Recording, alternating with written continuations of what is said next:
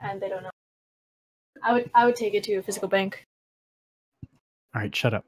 Hey guys, welcome to my spider den tutorial. Um, today we're it's basically just gonna be like another snake pit, um, except without walls.